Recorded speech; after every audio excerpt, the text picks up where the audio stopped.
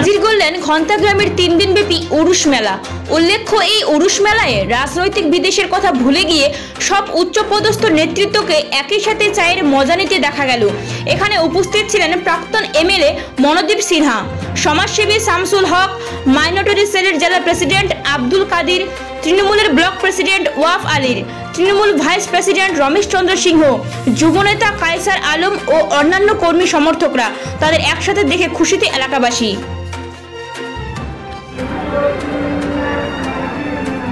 এই মেলা আজকে না আর জন্ম থেকে পাঁচদিনের মেলা থেকে আসি।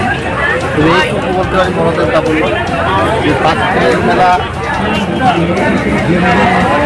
যার চেহারা ছিল সবাই মিলে তাদের বৃদ্ধি করে চলেছে, আর তারপর পাঁচ দিনের মেলা মুসলিমদের না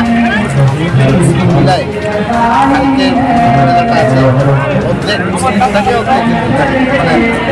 ভাতৃত্বের একটা বিশাল পরিচয়। কি নাম আপনার? ভালো লাগছে। কারণ এইবারই শুধু না প্রতি বছরই আমি এই উৎস মেলায় আসি পাঁচ উৎস মেলায় আসি। খুব ভালো লাগে। এখানে এই মেলায় যে জিনিসটা আমি দেখছি যে সম্প্রীতি যেটা সম্প্রীতি সেই সম্প্রীতিটা একবারে বাস্তবে আমি সেটা লক্ষ্য করছি। খুব ভালো লাগছে। আর সবাই নিজ নিজ যতটুকু আনন্দ করার আনন্দ করছে হলেও চলছে। আমার সঙ্গে ভাই শামসুলও এসছেন তাতে এসছেন ওহাব আলী এসছেন, এখানে কাইসারও আছে, আরও অনেকে আমার সাথে আছে, তরুণ সরকারও আছে। সবাই মিলে আমরা অন্যান্য বারের নাই এবারও আমরা মেলায় আনন্দ উপভোগ করছি।